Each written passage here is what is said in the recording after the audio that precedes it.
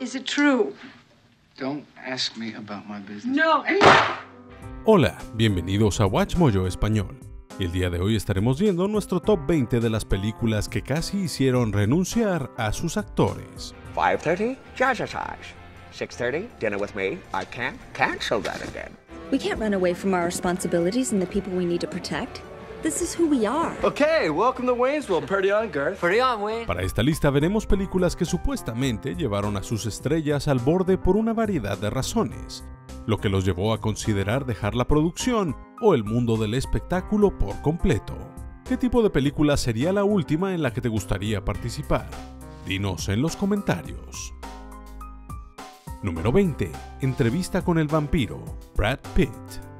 Lo mantuvo en secreto en ese momento, pero resulta que Brad Pitt no disfrutó de su tiempo como Louis de Pointe du Lac.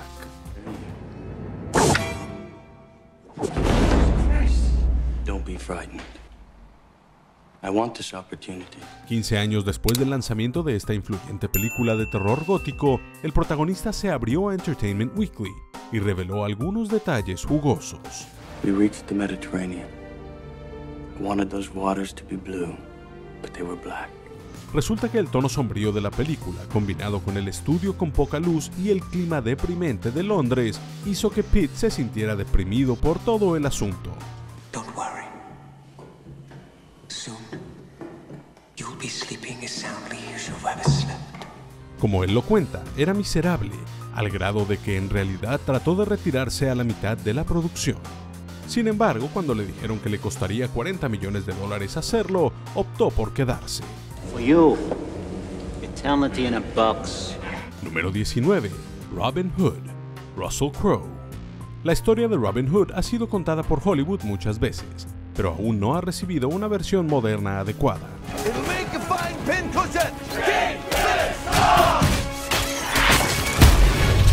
2008, cuando comenzó la producción de esta versión, se suponía que iba a ser la crónica del sheriff de Nottingham, pero las cosas se descarrilaron rápidamente.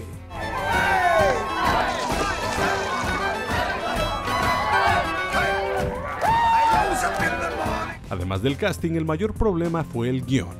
Russell Crowe se mostró en desacuerdo con el tono, alegando que parecía un CSI Bosque de Sherwood. Teach you how to tie knots. Teach you which wood to get to make your bowl stronger. Crowe y el director Ridley Scott solicitaron reescrituras, y el primero explicó que sin ellas él no estaba interesado en esa versión. The laws of this land enslave people to its king. A king who demands loyalty but offers nothing in return. Parece que los escritores aquí no pudieron decidir de quién se trataba realmente la película, y como resultado, esta historia revisionista fue destrozada por los críticos.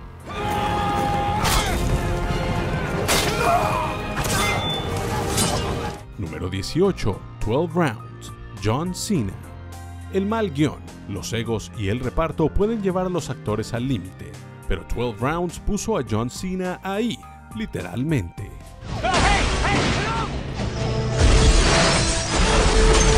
Esta producción de WWE Studios vio al personaje de policía de Cena, Danny Fisher, tratando de salvar a su prometida de un cerebro criminal. Molly Porter's phone. Let me talk to her. How do you know she's not dead already? Para hacerlo, Fisher tiene que completar 12 rondas de retos que desafían a la muerte, incluida una en la que escala por el costado de un edificio y se balancea en el aire.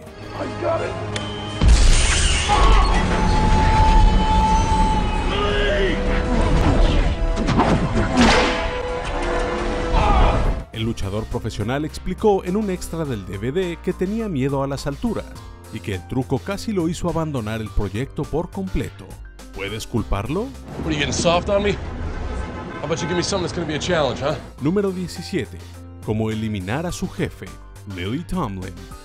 Mientras que ciertas estrellas pueden tener fracasos sin que el hedor se les pegue, otras tienen sus carreras descarriladas por una mala película. Entonces, cuando te sientes ridículo durante el rodaje, la ansiedad y la timidez pueden aparecer.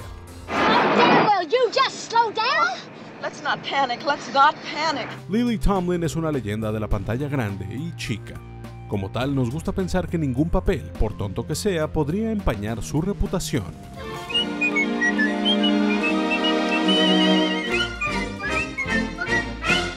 Pero cuando vio su actuación en los diarios de cómo eliminar a su jefe, hablando con pájaros que aún no habían sido animados, supuestamente se ofreció a reembolsar su salario para dejarla. Sin embargo, Tomlin aguantó y la película resultó ser un gran éxito. Incluso expresó interés en una secuela. I think it was poison. Right again.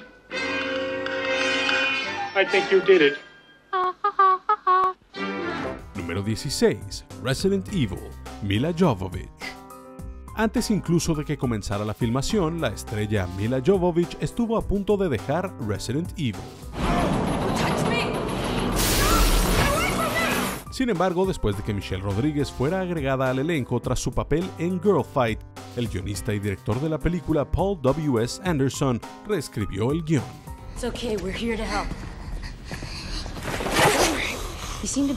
of... Según Jovovich, las reescrituras le dieron todas sus grandes escenas de acción a Rodríguez. Pensó en dejar la producción, pero pudo sentarse con Anderson y hablarlo. There's a cure! You're gonna be okay. I was beginning to worry. Al final todo salió bien. Jovovich se quedó como Alice y se casó con Anderson. Número 15. Los Cuatro Fantásticos y Silver Surfer. Jessica Alba. Esta secuela del 2007 hizo que Jessica Alba considerara dejar de actuar por completo.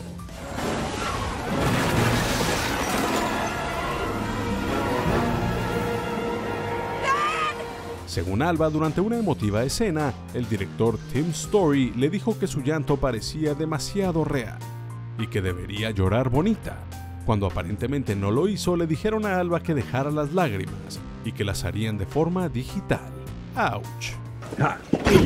You need to relax. Take a deep breath. Slower. Los comentarios minaron su confianza y se preguntó si debería tirar la toalla. Teniendo en cuenta lo mal recibida que fue la película, tal vez un poco de vulnerabilidad genuina es lo que necesitaba. La gente no suele llorar de forma bonita. No es así como funciona el llanto. What the hell was that? We'll make adjustments. Next time we'll be ready. Next time. There's no next time. Número 14. Rocky 4. Carl Weathers. The master of disaster, the one and only Apollo Creed. En la cuarta entrega de Rocky, el Apollo Creed de Carl Weathers se enfrenta cara a cara con Iván Drago de Dolph Lundgren, en lo que demuestra ser la pelea de su vida. Durante el rodaje, la escena se volvió demasiado difícil para los gustos de Carl Weathers. En una toma, Lundgren entrando en el papel, arrojó a Weathers al otro lado del ring, lo que el actor de Apollo Creed no tomó nada bien. What are you guys doing? This is supposed to be an exhibition. You understand? An exhibition. De hecho, según Sylvester Stallone, salió furioso del ring, anunciando que iba a llamar a su agente y renunciar.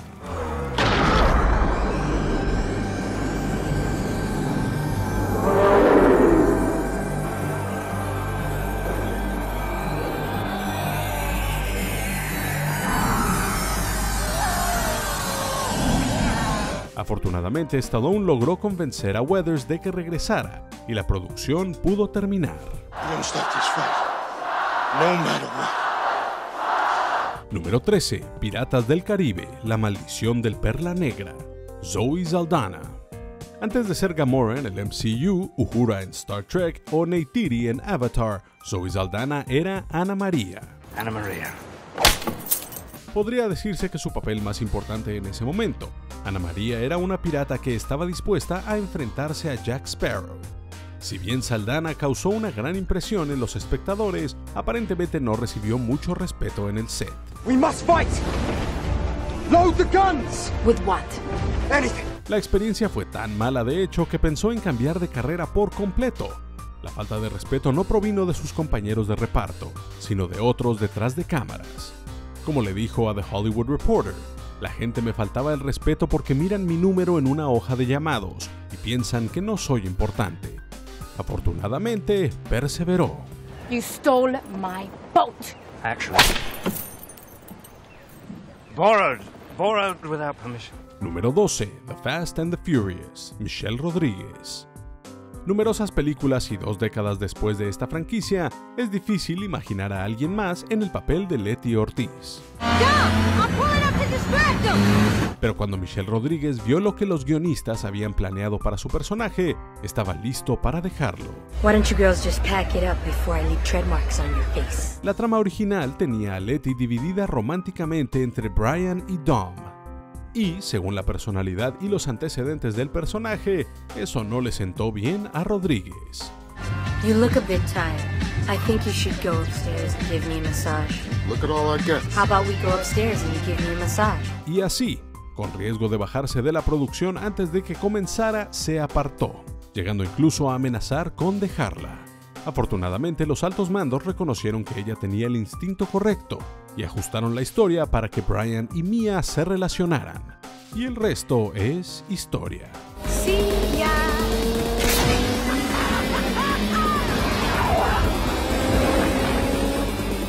Número 11. The French Connection. Gene Hackman. El thriller de acción de William Friedkin está considerado como una de las mejores películas jamás realizadas, pero la producción estuvo cargada de tensión entre Friedkin y su estrella, Gene Hackman.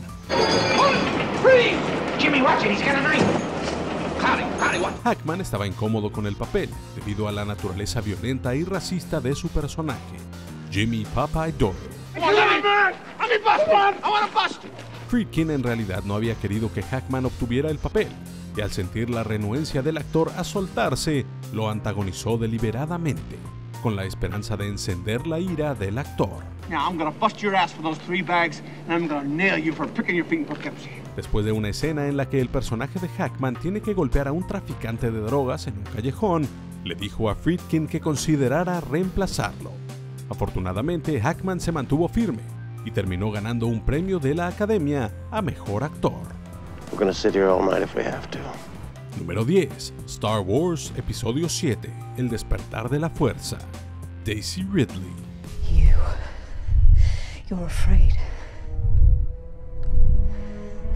That you will never be as strong as Darth Vader.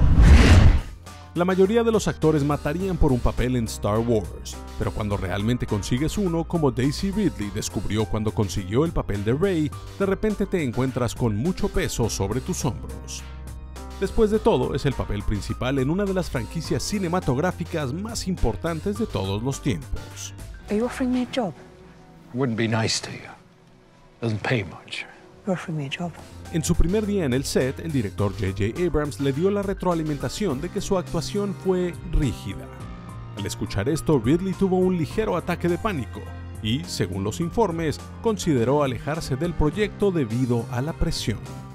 You will remove these restraints and leave this cell with the door open. Afortunadamente no lo hizo, y tanto Abrams como los fanáticos estaban encantados con su actuación como la heroína más nueva de la saga. I can do this. I can do this. Número 9. La franquicia de Harry Potter. Emma Watson. Emma Watson y Hermione Granger siempre estarán unidas en nuestras mentes. Oculus Reparo. Aunque fue su primer papel como actriz profesional, Watson llegó a encarnar el personaje. You've got dirt on your nose, by the way. Did you know? Pero fue lo que tenían en común lo que casi las separó. Ambas son extremadamente inteligentes y con inclinaciones académicas, y Watson terminó preguntándose si debería dejar la franquicia para concentrarse en la escuela. Oh, well done. See here, everyone. This Granger's done it. También describió sentirse incómoda con la fama que trajo el papel, tener problemas para reconocerse en el espejo y considerar dejar la actuación por completo. Afortunadamente, Watson pudo hacer malabarismos con ambos intereses y se graduó de la Universidad de Brown con una licenciatura en literatura inglesa en 2014. Alert the order if you can. Are you mental? We're going with you. It's too dangerous. When are you going to get into your head? We're in this together. Número 8. El Padrino. Al Pacino. Aunque sea difícil de recordar, hubo un momento en que el legendario Al Pacino no podía elegir sus papeles. You can break off from the Corleone family and go on your own. After we make the move to Nevada. Y al filmar El Padrino de Francis Ford Coppola, Pacino no sentía el amor de los productores involucrados que querían que otra persona interpretara a Michael Corleone. Según cuenta la historia, en realidad quería que lo despidieran después de las primeras semanas, por lo que Pacino casi les dio lo que querían. Menos mal que no lo hizo. Fredo, you're my older brother, and I love you. But don't ever take sides with anyone against the family again. Ever. El director lo animó a perseverar y su actuación cosechó elogios universales. El papel también le valió dos nominaciones al Oscar en toda la franquicia. I mean, in five years, the Corleone family is going to be completely legitimate. Trust me, that's all I can tell you about my business. Número 7. Batman, Michael Keaton. Con tantas películas de cómics que se hacen estos días, es seguro decir que los diseñadores de vestuario han perfeccionado el arte del atuendo de superhéroe.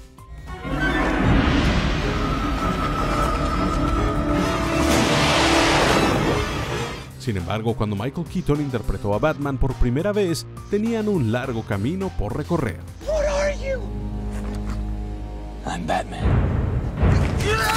En un intento por alejarse de la estética tonta que tuvo Batman en la década de 1960, Keaton se vistió con un sexy traje negro que ayudó a darle al actor más factor sorpresa.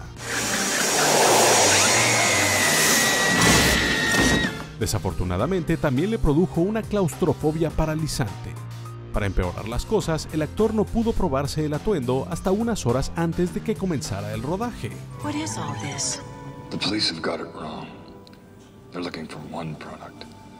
The Joker's tainted hundreds of chemicals at the source. De su primera vez en la capa y la capucha, Keaton recuerda haber jurado que también sería la última. Al final usó ese miedo para impulsar su desempeño. It's just something I have to do Why? because nobody else can. Número 6. El Grinch, Jim Carrey. You're a mean one, Mr. Grinch. No se puede negar que Jim Carrey fue el actor perfecto para darle vida al Grinch que odia la Navidad, del Dr. Seuss. Pero la producción tuvo un inconveniente que casi terminó con su participación. Santa, what's Christmas really about? Vengeance! La primera vez que Carrey se aplicó el maquillaje tomó 8 horas y media. Regresó furioso a su tráiler y le dijo al director Ron Howard que tendría que renunciar. Help me! I'm feeling.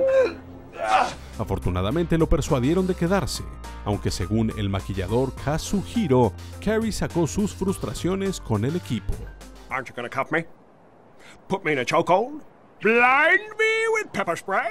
You heard him, officer. Esto llevó a Hiro a dejar la producción, aunque finalmente regresó a instancias de Carrey. Aunque eventualmente reducirían el proceso a cuatro horas, en el Inter se contrató a un experto de la CIA para enseñarle a Carrey a resistir la tortura. And this giant cigarette holder so, so the yak hair wouldn't go on fire. And, uh, The green yak yeah, the green yak hair that turned inward and went, yeah, it was horrifying. Número 5. The Abyss. Mary Elizabeth Mastrantonio. We all see what we want to see. El set de The Abyss fue una pesadilla para la mayoría de las personas involucradas. Con el equipo y los actores sumergiéndose en un tanque de agua gigante, los días fueron largos, agotadores y húmedos. takes discipline and years of training. A lot of people don't appreciate that. La gota que derramó el vaso cayó durante el rodaje de la escena en la que el personaje de Mastrantonio se ahoga y necesita ser resucitado. Mientras yacía empapada en un piso de metal, siendo abofeteada y recibía gritos de Ed Harris, la cámara se quedó sin película, pero nadie les dijo a los actores que se detuvieran. Fight, goddammit! Fight! Fight! Fight! Una Mastrantonio comprensiblemente frustrada se puso de pie y gritó, No somos animales, y se alejó del set. Afortunadamente no abandonó la película, pero no podemos decir que la hubiéramos culpado si lo hubiera hecho. Número 4. Wayne's World. Mike Myers. I think we'll go with a little Bohemian Rhapsody, gentlemen. Good call. Cuando Mike Myers y Dana Carvey llevaron este popular sketch de Saturday Night Live a la pantalla grande, el resultado fue un clásico absoluto. Pero un desacuerdo durante el rodaje de una de las escenas más memorables de la película casi termina con la producción. I see a little silhouette of a man. Scaramouche, Scaramouche, will you do the fandango? El equipo de Wayne's World roquea con Bohemian Rhapsody mientras conduce, pero los productores no estaban interesados en licenciar la icónica canción. Querían ir con algo más reciente y más barato, como Guns N' Roses. Sin embargo, Myers puso el pie en el suelo, amenazando con salirse a menos de que se usara la icónica canción de Queen.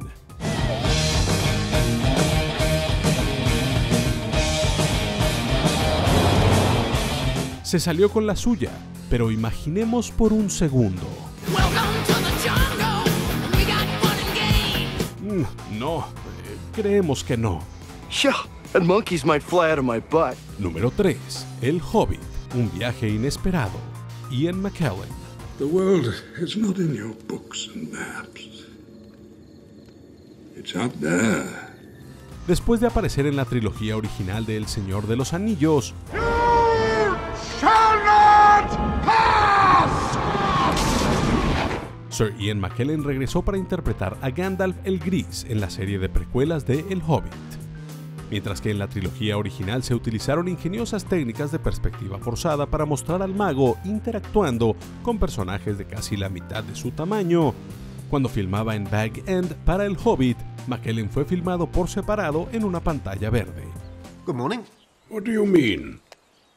Do you mean to wish me a good morning, or do you mean that it is a good morning whether I want it or not? Usando un poco de magia digital, se hizo que el actor pareciera mucho más alto que sus compañeros de reparto. Para McKellen, sin embargo, la experiencia de actuar sin sus coprotagonistas fue inmensamente frustrante y aislante. Como resultado, contempló no solo dejar la película, sino toda la profesión de actor.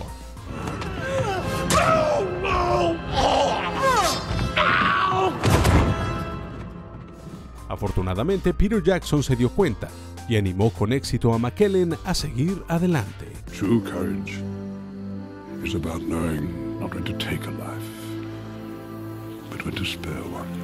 Número 2. Los pájaros. Tippi Hedren. I sometimes go to bird shops on Fridays. I'm very glad you do. Otro director exigente en el set, Alfred Hitchcock, insistió en que el miedo de Hedren a los pájaros pareciera genuino en la película. Para lograr el resultado deseado sin el conocimiento de Hedren, Hitchcock se retractó de su promesa a la actriz de que los pájaros serían mecánicos y, en cambio, utilizaron pájaros reales.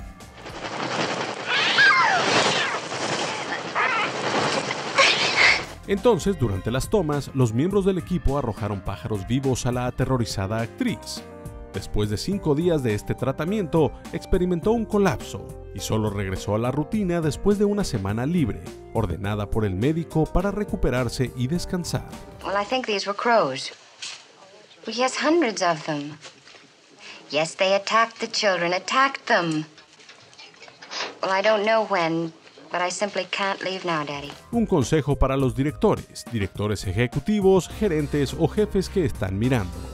Si desea que sus empleados se queden, probablemente sea una buena idea no arrojarles animales vivos sin su consentimiento. I hardly think a few birds are going to bring about the end of the world.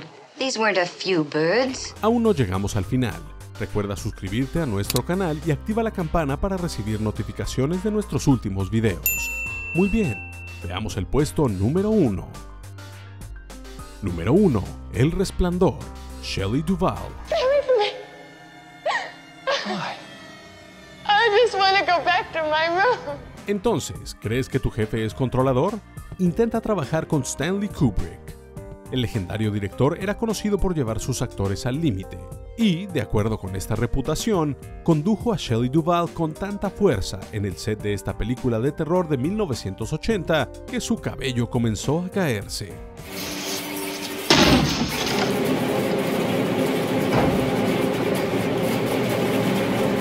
Durante el rodaje de la segunda mitad de la película, Duvall estaba constantemente deshidratada y agotada de tanto correr, gritar y llorar.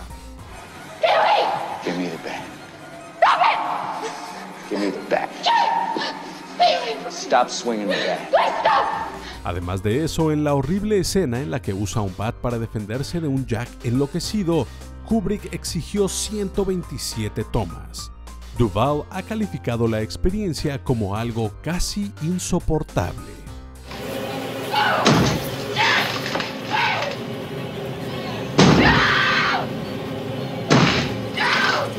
¿Y tú? ¿Estás de acuerdo con nuestra lista? ¿Qué actor conoces que casi renuncia a su papel? Déjanos saber en los comentarios y no te pierdas estos otros videos de WatchMojo Español.